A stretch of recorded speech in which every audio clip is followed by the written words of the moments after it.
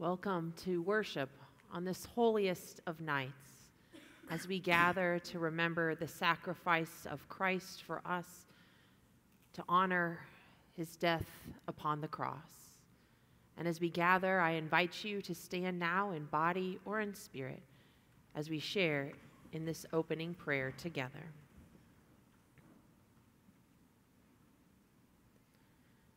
All you who pass this way, Look and see the sandal of sin.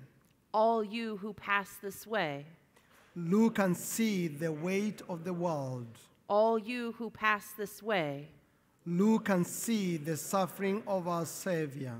all you who pass this way, Look and see the sorrow of Jesus Christ.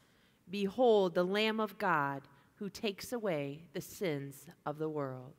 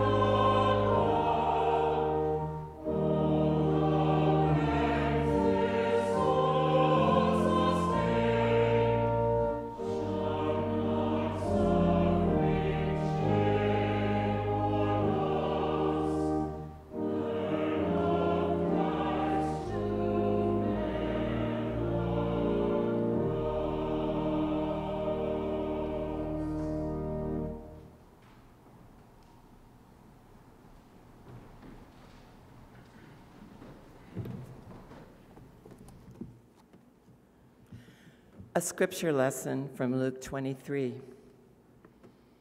Two others also, who were criminals, were led away to be put to death with him.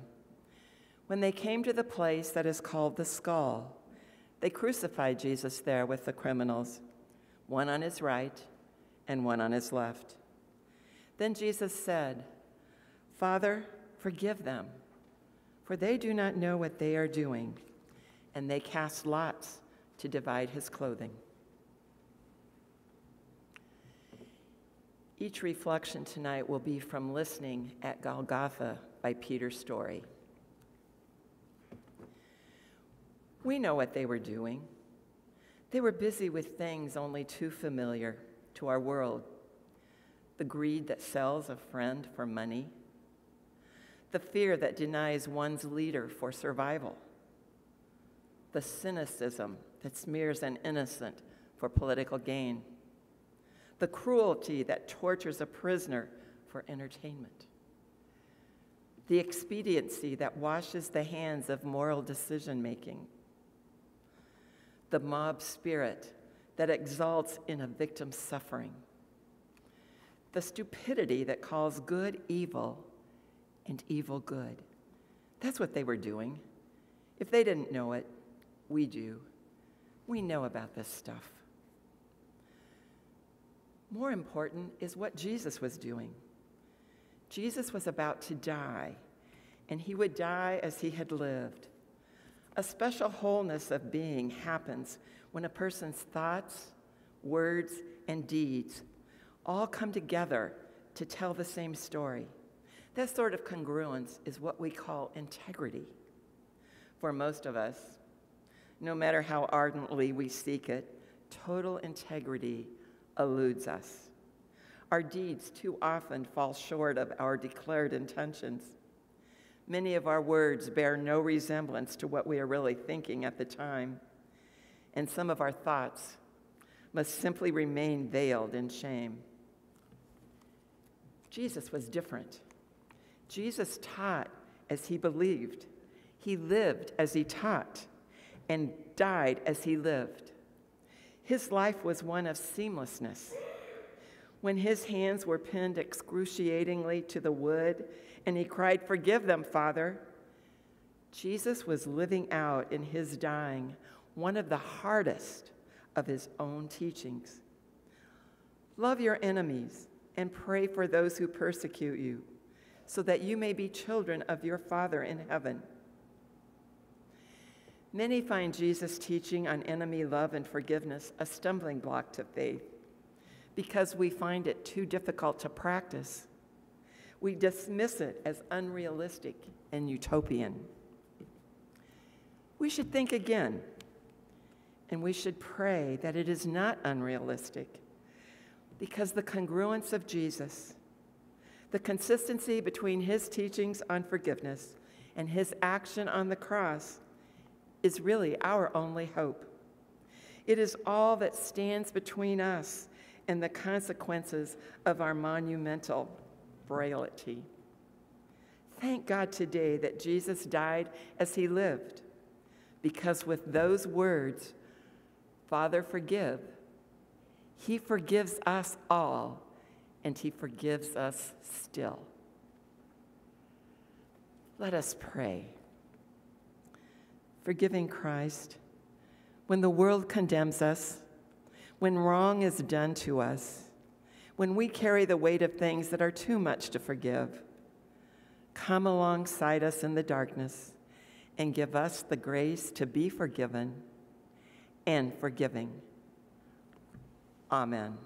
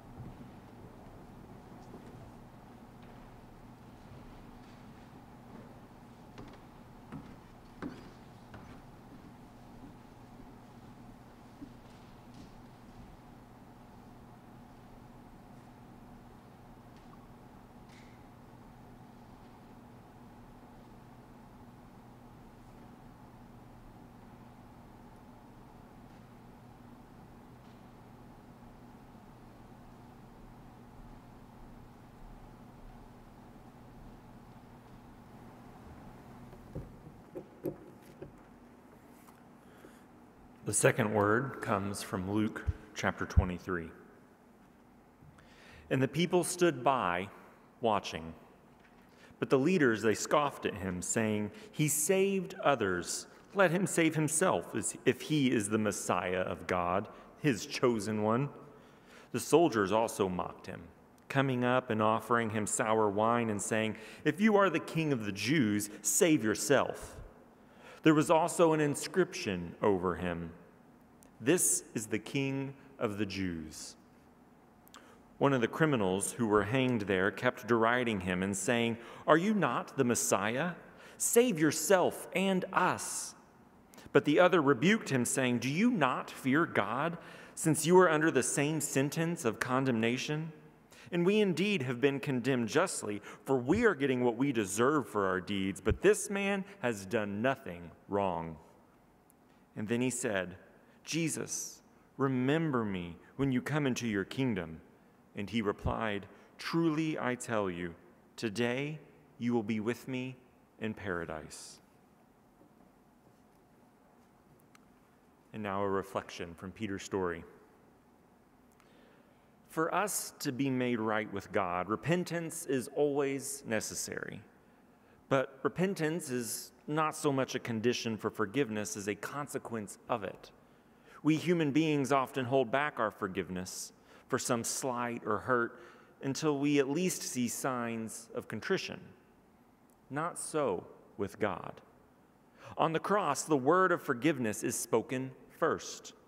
It gives birth to one felon's contrite cry. This truth changes the equation of salvation. When we learn that we do not repent in order to find pardon, we repent because we discover how deeply we have been pardoned, how much we have been forgiven. Jesus responds to our slightest sign of contrition. Is it possible to speak of joy in the heart of Jesus on the cross? In one sense, yes, because surely this interchange with the contrite criminal represents the essence of Jesus' reason for coming. I can imagine bystanders listening to this man in his desperate need, crying, Jesus, remember me when you come into your kingdom. And perhaps some recalled a story told on a Galilean hill, a story that explored the geography of their souls about a father and his son, a family home, in a far country. When the son had effectively wrecked his life, this headstrong, selfish boy dragged himself home with hope of nothing more than a meal and a bed. But at the first sight of him on the horizon, his father ran to meet him. He fell on his neck and kissed him put a ring on his finger and sandals on his feet. For this son of mine was dead and is alive again. He was lost and is found. Truly, I tell you, today you will be with me in paradise. Today. The early Methodist circuit riders of the American frontier never tired of telling their hearers that the offer of Christ's forgiveness and salvation was available now, immediately. There was no need to wait. We come to the cross to make that discovery again and to cry, Remember me, Jesus, today. Bow your heads in prayer with me.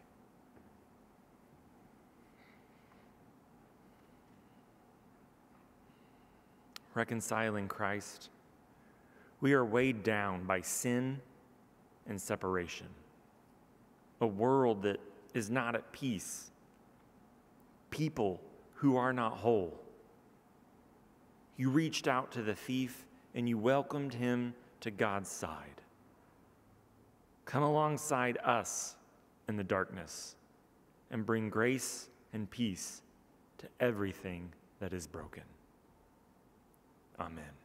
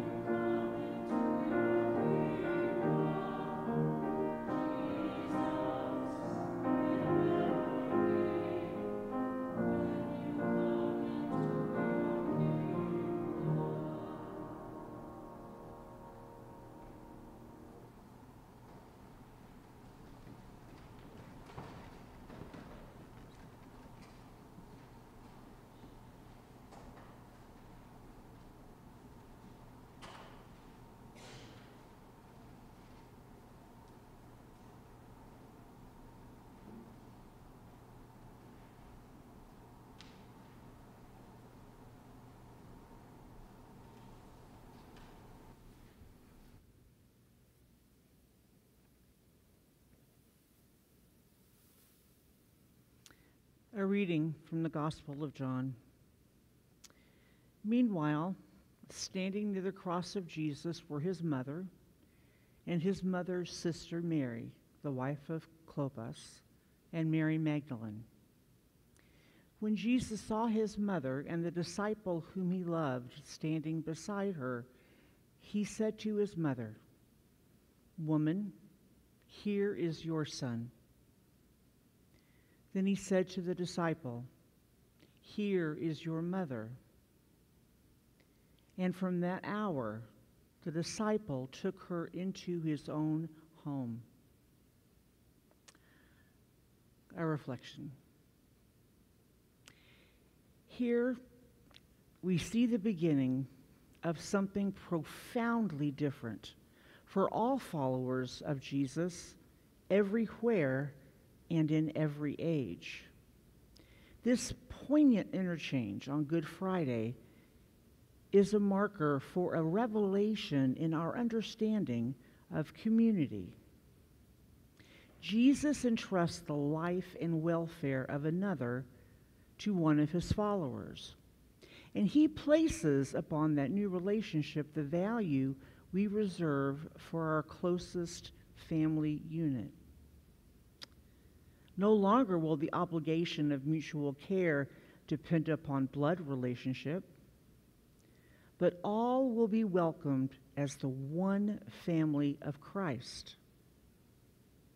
No more will our first loyalty be to tribe or nation or clan.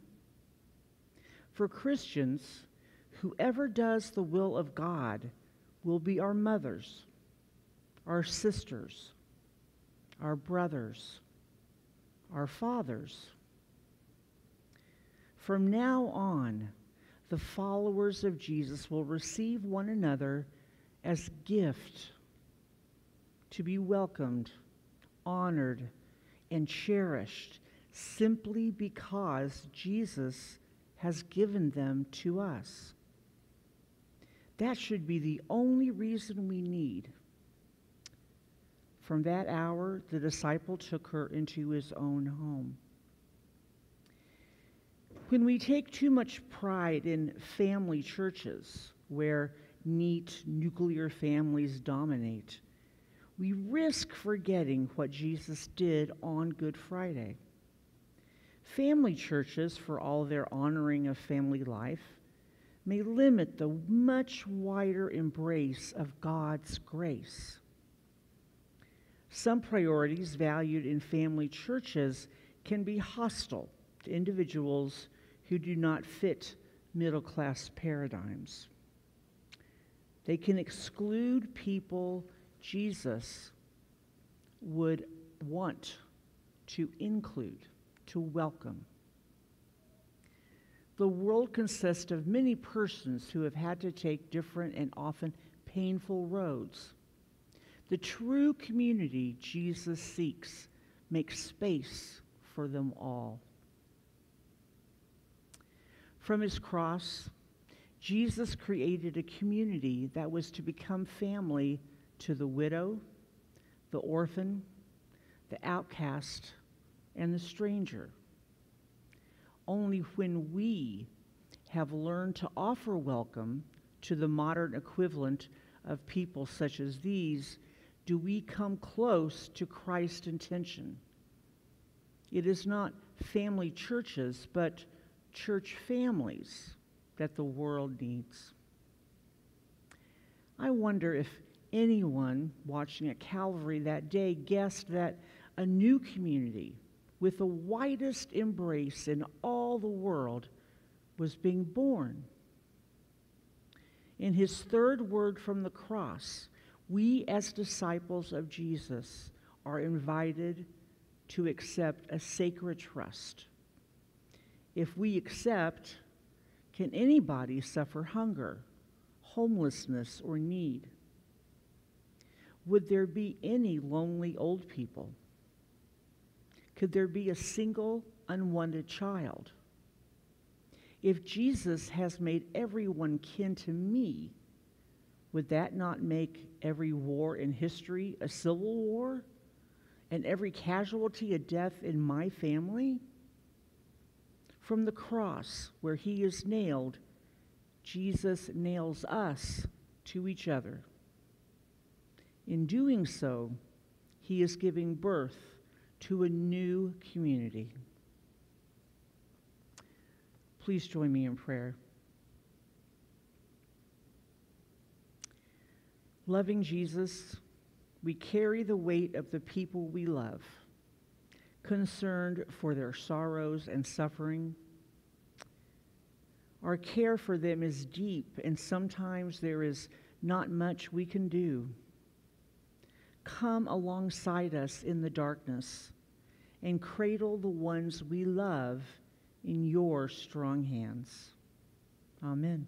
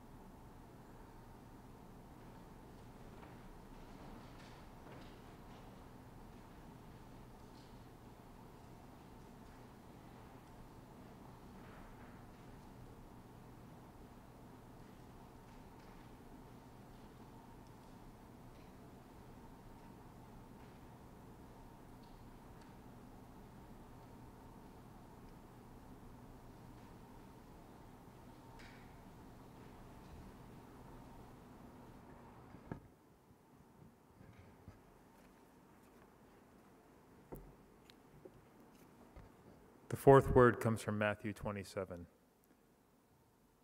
From noon on, darkness, darkness came over the whole land until three in the afternoon. And about three o'clock, Jesus cried with a loud voice, Eli, Eli, lema sabachthani. That is, My God, my God, why have you forsaken me? And now a reflection. As Jesus absorbs all this weight of sin, is the Son's crucial sense of oneness with the Father severed? Is heaven's darkness a sign of a Father who can no longer bear to watch this deadly clash in his beloved soul? We cannot know. None of us has known such a friendship with God. None can therefore know what this loneliness, this terrifying sense of absence meant. My God, my God, why have you forsaken me? But we all do know the sense of isolation that comes over us when we let wrongdoing invade our own lives. We know how we feel when we distance ourselves from full communion with other fellow humans and our God. We know the dis-ease within us until the wrong is repented and put right. We know that our sin makes us lonely because deep inside us we know that we are made for friendship with God.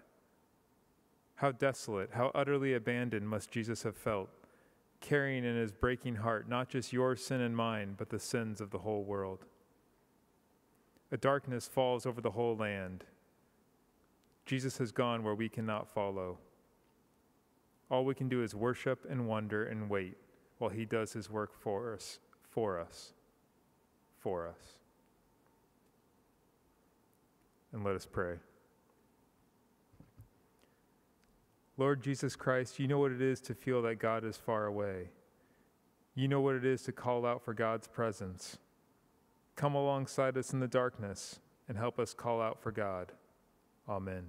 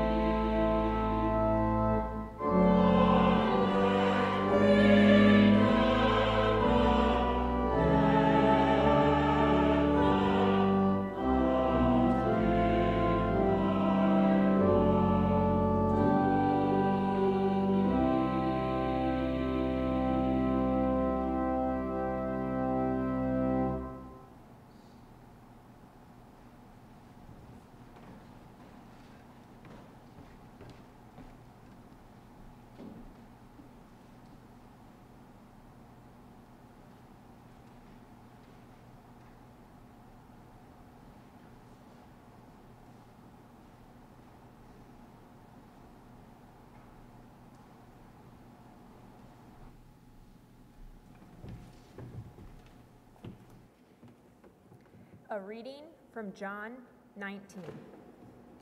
After this, when Jesus knew that all was now finished, he said, In order to fulfill the scripture, I am thirsty. A jar full of sour wine was standing there, so they put a sponge full of the wine on a branch of hyssop and held it to his mouth. Now a reflection. Jesus knew that the healing of humanity required winning the battle from within the human condition. Healing could flow only through entering into and a bearing of suffering and sin. When onlookers sneered, He saved others, He cannot save Himself, they could not see that only because He had never thought of saving Himself could anybody be saved at all all those who shouted, If you are the Son of God, come down from the cross, could not see that it was precisely because he was the Son of God that he would not come down from the cross. In the end, the deepest thirst of this Jesus, the thirst that held him to that cross, was the first of unrequited love. Jesus thirsts to see all people discover God's love for them through forgiveness and new life. His dying tells us God longs like this, thirsts like this, bleeds like this, always. For God so loved the world that he gave his only Son. No sponge of sour wine can slake that thirst. Only the assurance of our repentance and faith can do that. Let us pray. Suffering Savior, in all our thirst, in all our sickness, in all our longing, in all our pain, you are there. Come alongside us in the darkness and walk with us through all our suffering. Amen.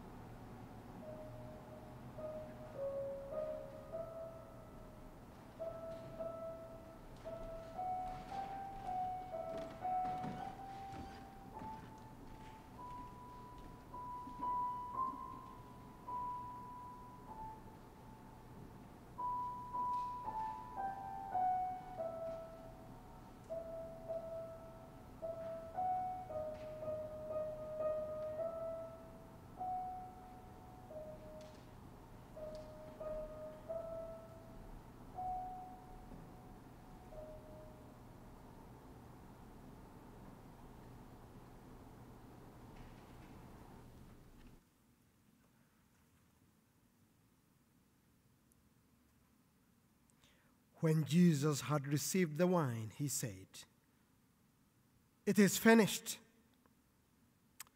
Then he bowed his head and gave up his spirit. Now, a reflection.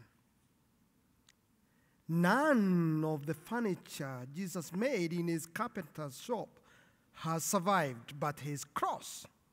This wood and these nails will stand forever as the carpenter's mightiest work, the work of our salvation. This time, when Jesus had the hammer's blows, he received nails into his own flesh, and another wielded the hammer. But the carpenter was still at work. He would turn even this wood and these nails into something good and beautiful. His greatest work of all. Here, God did something that changed forever the moral equation of the universe, shifting the balance from evil to good, from the love of power to the power of love. Now, Jesus can say of his greatest work, It is finished. Now he can go home.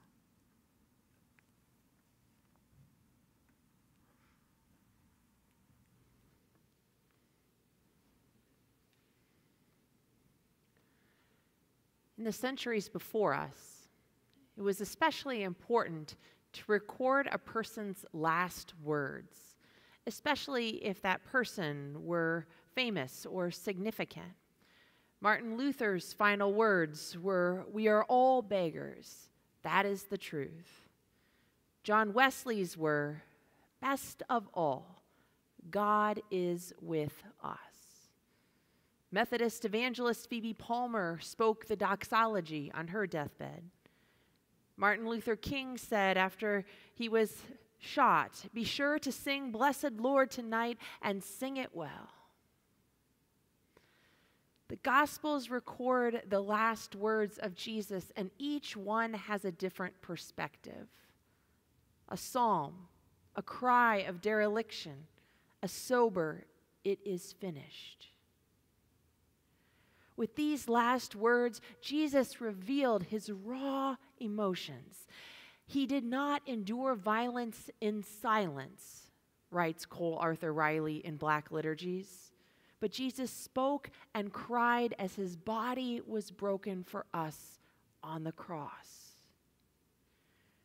Our memory of Jesus this night becomes more complete when we remember the injustices which he suffered in solidarity with humankind hunger, abuse, and loneliness. Tonight, we grieve in the shadow of the cross illness, violence, alienation, the degradation of the land, and all pain and suffering. We weep with a God who knows the weight of oppression, both what we receive and what we inflict upon others. We weep because we witness the worst of what human beings can do. We humans killed Jesus 2,000 years ago. We nailed truth, love, and gentleness to the cross. We voted no to his reign of peace, love, and justice for all. And we continue to vote no day in and day out by what we do and what we fail to do. In our hoarding and gluttony and lust and jealousy, in our hatred and prejudice, in our abuse of others and the earth, in our violence and oppression, in our personal and corporate sins. And yet, while we have heard tonight the last words of Jesus, we know that they are not the final words of God. And so we wait. We weep. We rest. And then we hold on to the hope that God is with us and that God's final word might bring justice and freedom for which all creation longs. Amen.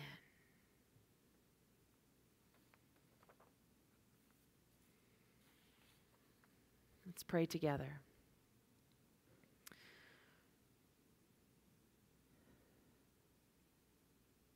Dearest Jesus, even in death, you are there. When we mourn, when we are afraid, when we come to our own end, you have been there too. Come alongside us in the darkness and carry us through death to life. Amen.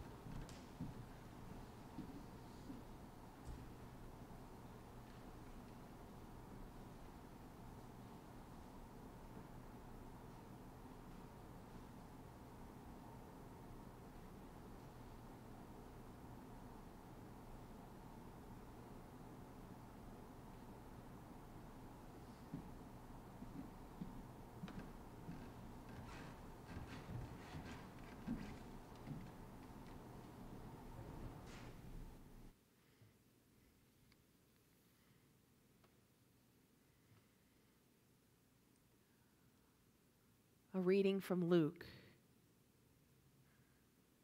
It was now about noon, and darkness came over the whole land until three in the afternoon, while the sun's light faded and the curtain of the temple was torn in two. Then Jesus, crying with a loud voice, said, Father, into your hands I commend my spirit. Having said this, he breathed his last. When the centurion saw what had taken place, he praised God and said, Certainly this man was innocent. And when all the crowds who had gathered there for the spectacle saw what had taken place, they returned home, beating their breasts. But all his acquaintances, including the women who had followed him from Galilee, stood at a distance, watching these things.